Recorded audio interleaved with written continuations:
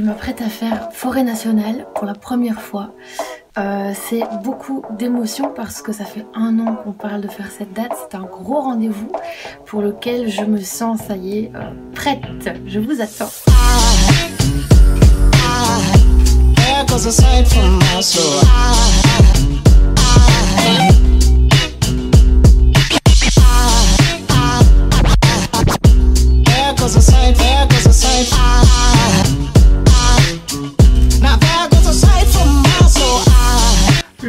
premier concert que j'ai eu en public, c'était en Amérique où j'ai passé un an. C'était pour Noël, j'étais déguisée en lutin. Fallait faire un solo et je me souviens avoir eu une ovation, une standing ovation du public, ce qui m'a encouragée par la suite.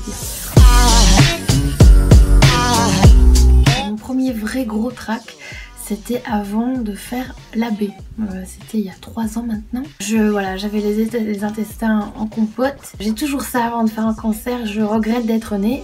Et puis évidemment, une fois que je suis sur scène, ça passe. C'est ma première fois en français.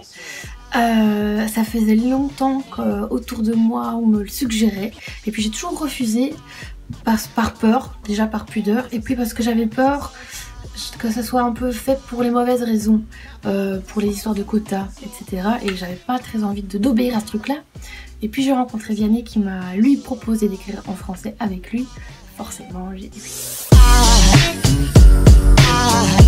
Le premier déclic que j'ai eu pour euh, tout ce qui est féminisme, c'est un livre, un tout petit livre que j'ai lu qui s'appelle Le féminisme de la BD des Savoirs. Et suite à ça, j'ai voulu écrire des chansons qui parlent un peu de des femmes fortes. Voilà, euh, mon album s'appelle Madame. Madame, c'est mon héroïne. C'est d'abord l'écriture des chansons qui me permet, qui me donne la force de dans la vie de tous les jours d'oser m'affirmer et d'oser être cette Madame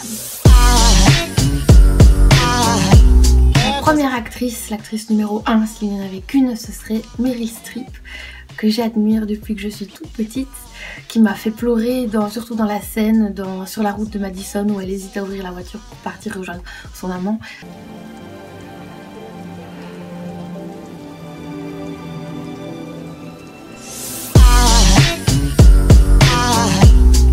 C'était euh, hélas dans mes rêves, puisque il y a quelques années, j'ai fait un énorme rêve sur Stromae où je rêvais que je le croisais en festival dans une grange.